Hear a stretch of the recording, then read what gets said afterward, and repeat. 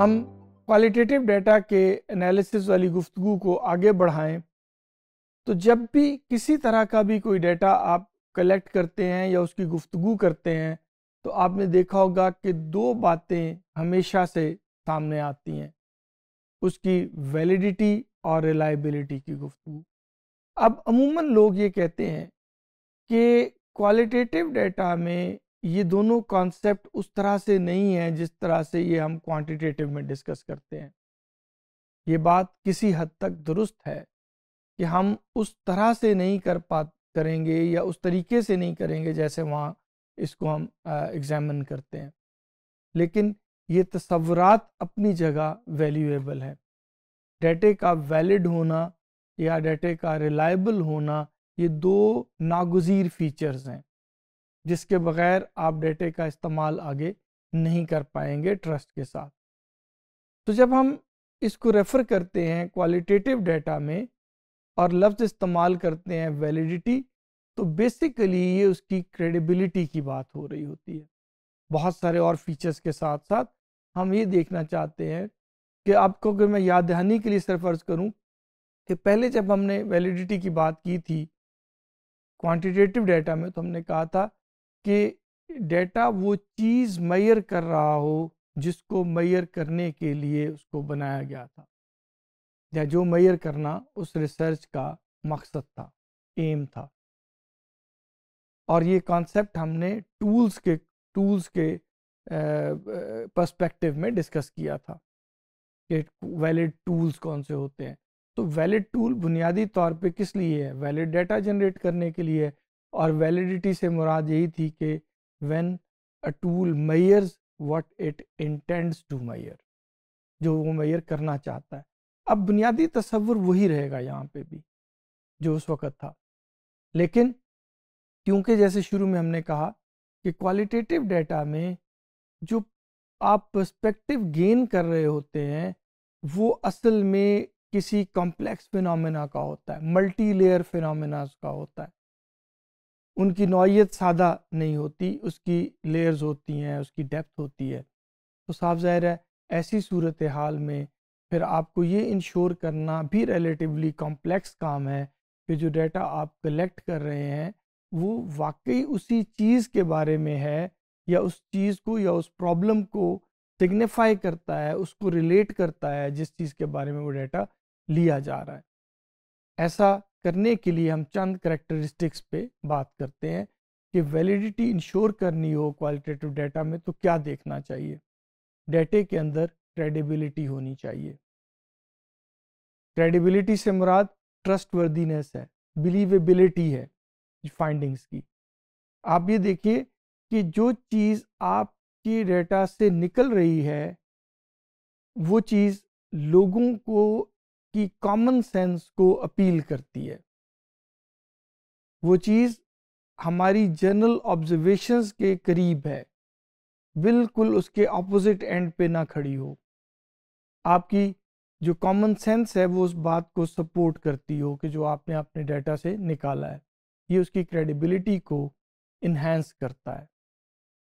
इसके लिए अमूमन जो है वो लोग फीडबैक का मेथड इस्तेमाल करते हैं फीडबैक फ्रॉम पार्टिसिपेंट मिसाल के तौर पे मैंने किसी से इंटरव्यू लिया और उसका एक डाटा कलेक्ट कर लिया।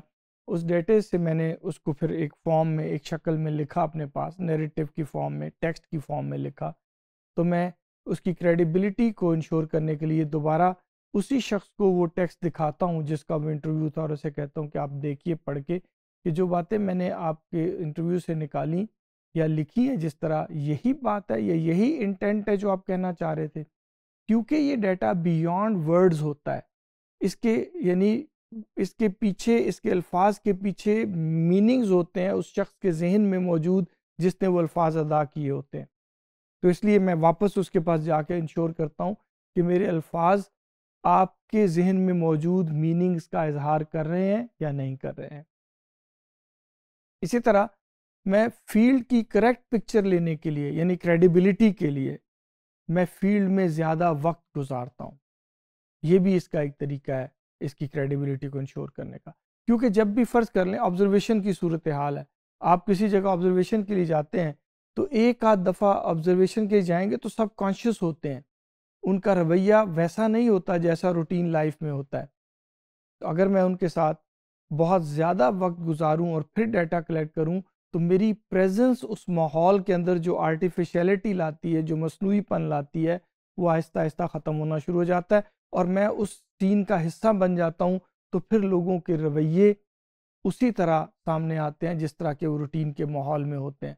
लेकिन अगर ऑब्जर्वेशन ऑब्जर्वेशन की तरह होगी तो फिर शायद ये मुमकिन ना होगा। सो so, आप ट्रायंगुलेशन एक और तरीका है जो आप ट्रस्ट होने के लिए इस्तेमाल करते हैं क्रेडिबिलिटी के लिए इस्तेमाल करते हैं। और ट्रायंगुलेशन से मुराद क्या है कि मैं एक ही चीज़ की इंफॉर्मेशन उसके मल्टीपल एंगल से कलेक्ट करता हूँ। जैसे मैंने आपको टीचर की मिसाल दी थी कि टीचिंग करेक्टरिस्टिक्स किसी के चेक करने हैं तो आप उससे पूछें, उसके तलबा से पूछें, उसके हेड से पूछें तो आपको मल्टीपल पर्सपेक्टिव मिलते हैं। फिर आपस में इनको क्रॉस मैच कर लीजिए आप। इसी तरह एक और करेक्टरिस्टिक जो इसकी वैलिडिटी के लिए आप इस्तेमाल कर सकते हैं, वो ट्रांसफरेबिलिटी है इसकी। अच्छा अमूमन इस पर भी क्वालिटेटिव क्वांटिटेटिव रिसर्च में तो ये ये बिल्कुल एक तरह से स्टेब्लिश चीज़ है कि जिसको आप वहाँ जनरलाइजेबिलिटी का नाम देते हैं, कि एक कॉन्टेक्स्ट में हासिल हुई हुई फाइंडिंग्स उसी तरह के दूसरे कॉन्टेक्स्ट में काबिल इस्तेमाल हो जाएँ। लेकिन ये वहाँ पे ये टर्म जनरलाइजेबिलिटी है जिसका ताल्लुक सैंपल और पॉपुलेशन से जुड़ा होता है। लेकिन इसके मुकाबले में, जब हम यहाँ क्वालिटेटिव रिसर्च में लफ्ज़ यूज़ करते हैं तो हम जनरलाइजेबिलिटी का लफ्ज़ नहीं कहते, बल्कि ट्रांसफरेबिलिटी का कहते हैं। क्योंकि यहाँ जनरलाइजेबिलिटी का लफ्ज़ इस्तेमाल करें तो उससे सेंस समझ आती है पॉपुलेशन वाली, जो कि असल में दुरुस्त बात नहीं होगी। हम यहाँ ना कोई सैंपल ड्रा होता है, ना उस सैंपल के अगेंस्ट कोई पॉपुलेशन होती है। ट्रांसफरेबिलिटी से कॉन्सेप्ट वही है, लेकिन उस तरह से उस फॉर्म में नहीं है जैसे ये क्वांटिटेटिव रिसर्च में। यहाँ ट्रांसफरेबिलिटी से मुराद ये है कि एक सूरत हाल में हासिल की गई फाइंडिंग्स अगर उसी सेटिंग में दोबारा कभी इस्तेमाल हों तो वो उसी तरह बिहेव करें, उसी तरह ट्रू हों, जैसे कि वो पहली सूरत हाल में जहाँ उनको इनिशियली फाइंड आउट किया गया था, उसी तरह से यहाँ उससे मुराद ये है कि मैं जब भी कोई डेटा कलेक्ट करूँ क्वालिटेटिव रिसर्च में तो मुझे ये इंश्योर करना है उसकी वैलिडिटी के लिए कि मैं उन सेटिंग्स को इतनी डिटेल में स्टडी करूँ, जिसमें कि ये फाइंडिंग्स निकाली जा रही हैं कि जब भी वो डिटेल पढ़ने वाले के सामने हो और किसी और सिचुएशन में अगर उसको वही डिटेल मिले तो ये वाली फाइंडिंग्स वहाँ पे काबिल इस्तेमाल होनी चाहिए।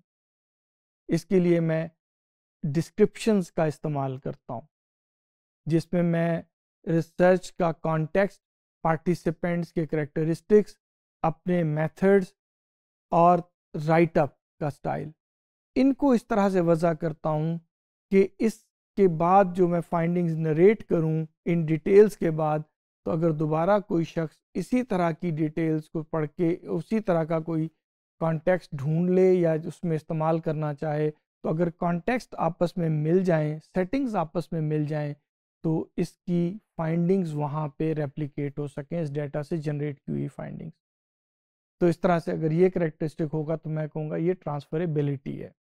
हम अगले मॉड्यूल में इसी कॉन्सेप्ट को, यानी validity of quantitative qualitative data को ही आगे कंटिन्यू करेंगे।